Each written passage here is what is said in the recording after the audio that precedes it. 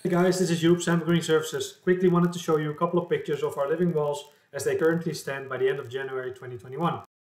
All walls have pretty winter colors. Plants show natural, healthy dormancy, which indicates that we're successful in providing them with all the resources they need to make it through the winter. One of the most important resource is water. Providing water throughout the winter is critical for these plants to survive.